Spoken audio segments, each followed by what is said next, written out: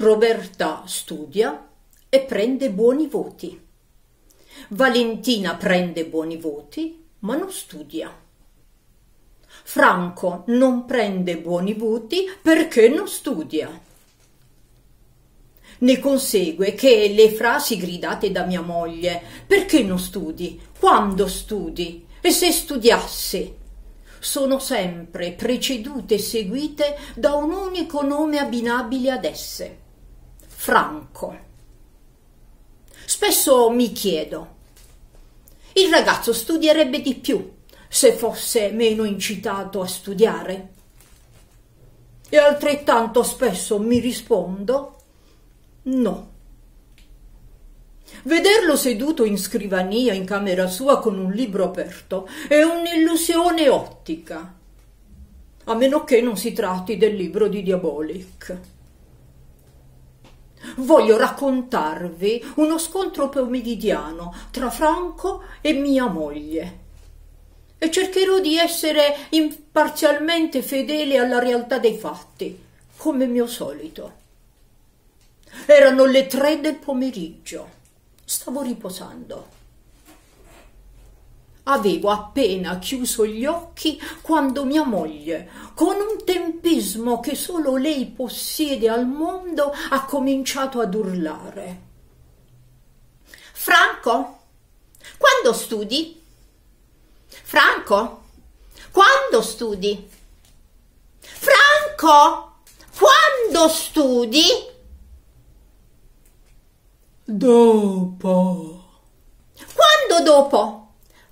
Quando dopo? Quando dopo?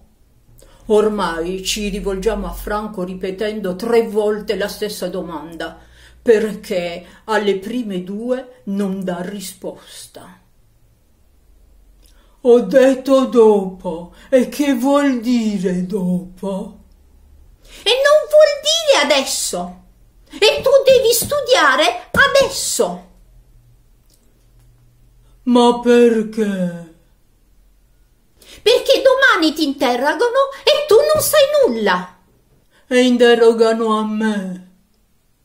E chi devono interrogare? Sentiamo e siamo 35 e vanno ad interrogare proprio a me. Ma che razza di ragionamento idiota è questo? Ma insomma, studia! Non è un ragionamento idiota. Io non sono idiota, hai capito? Guarda che tu a me non ti rivolgi in quel modo. Hai capito? Hai capito? Lo dico io. Ama. Ah, siamo all'insopportazione adesso. Sono io che non sopporto più te. Vedi di studiare invece di star senza far nulla. Sai che cosa vuol dire studiare? Ama. E no che non lo sai. Hai visto? Tu non studi e non sai neppure che cosa significa. Studiare è un dovere per un cretino come te. E lascia stare quella chitarra, se no te la spacco in testa. Ma che spacchi tu?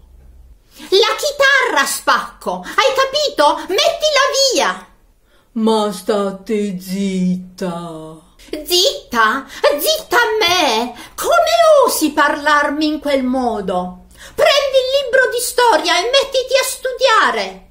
Uffa, ma hai visto che ho aperto il libro? Ma che sei cieca? No, non sono cieca. E mango muta. Piacerebbe che fossi muta. Sono sicuro che Franco non ha avuto il coraggio di rispondere, ma io dal chiuso della mia camera sì. Io non sono muta e quindi parlo. Io per te faccio tanti sacrifici. Io sono per te il tuo angelo custode. Chi ti aiuterebbe nello studio? Chi ti obbligherebbe a studiare? Chi ti guiderebbe? Un deficiente come te. Ama. Un imbecille come te, senza essere guidato Sai dove finirebbe? Al riformatorio finirebbe.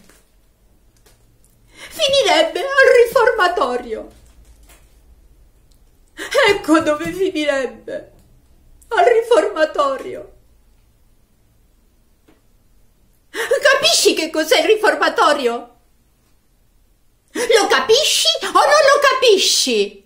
Oh mamma, e state zitta, e qua non si può studiare. Ho dovuto alzarmi per togliere dalle grinfie di mia moglie Franco, perché l'avrebbe maciullato.